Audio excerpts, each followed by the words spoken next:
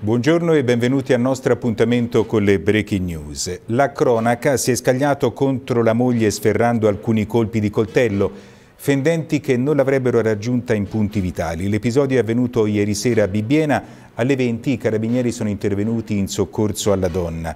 Lui è un 49enne italiano, lei ha 41 anni, lei è ricoverata a Careggi, lui è stato arrestato per tentato omicidio, trasportato presso il carcere di Arezzo. La procura ha aperto un fascicolo su questa storia. Dietro all'aggressione ci sarebbe anche l'ombra di dipendenze da alcol e droga. Il fatto, come detto, è accaduto a Bibbiena. Il punto adesso sulla situazione dei contagi. Il numero di nuovi casi positivi nella ASL Toscana Sud-Est è di 27, di cui 9 nella provincia di Arezzo.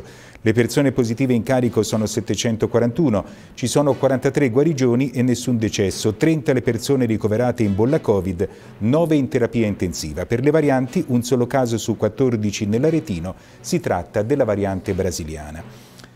Torna ad Anghiari in presenza la mostra mercato dell'artigianato. L'appuntamento è in programma da domani fino al prossimo 6 giugno ed è un appuntamento questo ormai importante, storico non solo per Anghiari ma anche direi per l'intero territorio della provincia di Arezzo perché sono in mostra delle eccellenze che caratterizzano appunto l'arte manuale dei nostri artigiani.